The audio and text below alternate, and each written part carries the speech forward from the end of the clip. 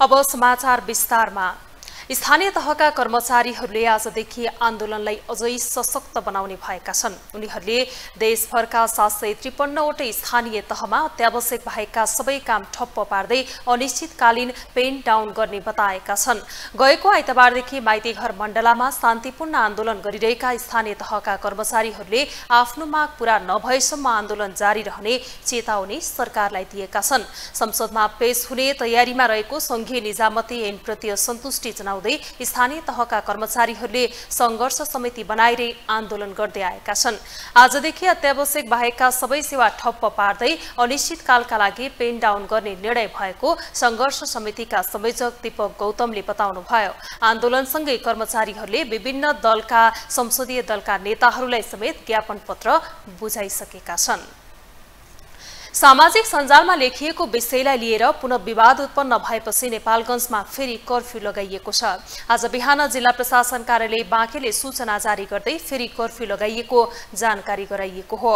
प्रमुख जिल्ला अधिकारी विपिन आचार्यद्वारा जारी गरिएको आदेशमा सामाजिक सञ्जालमा लेखिएको विषयलाई लिएर उत्पन्न विवादका कारण बिहान छ बजेदेखि राति आठ बजेसम्म नेपालगञ्ज उपमहानगरपालिका क्षेत्रभित्र निषेधाज्ञा जारी गरिएको सूचनामा उल्लेख छ। प्रशासन कार्यालयले जारी गरेको सूचनामा नेपालगञ्ज उपमहानगरपालिका पूर्वमा राप्ती नदी पुल पश्चिममा खजुरा रोडको इन्द्रपुर जाने बाटो उत्तरमा राझा चोक र दक्षिणमा जमुना हाँसीमा नाकामा चार किल्लाभित्र कुनै प्रकारको भेला जुलुस सभा बैठक वा प्रदर्शन वा पोस्टर प्रचार जस्ता प्रचारका सामग्री टाँस्न वा लेख्न नपाइने गरी तथा हुलदङ्गा वा अशान्ति गर्ने उद्देश्यले एकै ठाउँमा पाँचजना भन्दा बढी मानिस जम्मा हुन नपाउने उल्लेख गरिएको छ।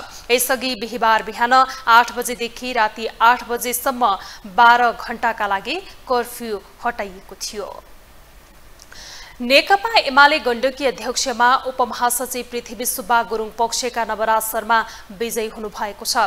शर्माले पाँच सय एकतिस मत प्राप्त गर्नुभयो भने प्रतिस्पर्धी मायानाथ अधिकारीले तीन सय पैँसठी मत पाउनु भएको मुख्य निर्वाचन अधिकृत सुरेन्द्र थापा मगरले जानकारी दिनुभयो। अधिकारी स्थायी कमिटी सदस्य खगराज अधिकारी पक्षका हुनुहुन्छ। उपाध्यक्षमा शर्मा प्यानलकै मिनबहादुर गुरुङले पाँच सय चौतिस मत प्राप्त गरी निर्वाचित हुनुभयो। सचिवमा धनञ्जय दवाडी तथा उपसचिवमा दाम बहादुर विक्क र मन्जु अधिकारी निर्वाचित हुनुभएको छ। उहाँहरू पनि शर्मा प्यानलकै हुनुहुन्छ। हामीसँग समाचार बाँकी नै छन्। अहिलेलाई विश्राम। रुसी आक्रमणमा परि युक्रेनको पूर्वी गाउँमा एकाउन्न जनाको मृत्यु भएको छ। खार्किबको उत्तर पूर्वी क्षेत्र स्थित गाउँमा शोक व्यक्त गर्नेहरू र मृतकका आफन्तहरू रहेको ठाउँमा आक्रमण भएको थियो। साठी जनाको सहभागिता रहेको कार्यक्रममा छ वर्षीय बालकसहित एकाउन्न जनाको मृत्यु भएको संयुक्त राष्ट्र संघका अधिकारीले बताएका छन्। युक्रेनी प्रहरीले सार्वजनिक गरेको भिडियोमा कोजरा गाउँमा ठूलो मात्रामा धुवाको मुस्लो देखिएको भग्नावशेषबाट कयौं मृत शरीर उद्धार गरिएको छ। युक्रेनका राष्ट्रपति भोलोदिमिर जेलेन्स्कीले आक्रमणमा मारिएका व्यक्तिहरूप्रति दुःख व्यक्त गरेका छन्। चीनको हान्जाओमा जारी उन्नाइसौँ एसियाली खेलकुदमा नेपालले पहिलो पदक प्राप्त गरेको छ। नेपालले महिला कबड्डीतर्फ काँस्य पदक प्राप्त गरेको हो। महिला कबड्डीको सेमिफाइनलमा नेपाल भारतसित पराजित भएको छ। भारतसित पराजित भएसँगै नेपाल काँस्य पदकमै सीमित भएको हो। आज बिहान सम्पन्न सेमिफाइनल खेलमा भारतले नेपाललाई एकसठी सत्र अङ्कले पराजित गरेको हो।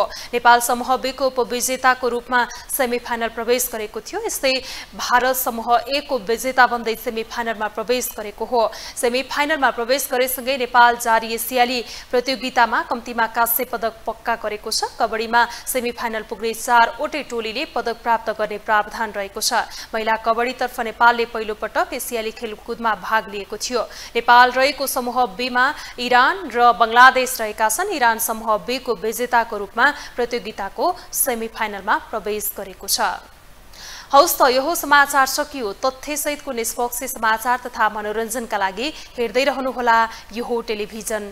नमस्कार।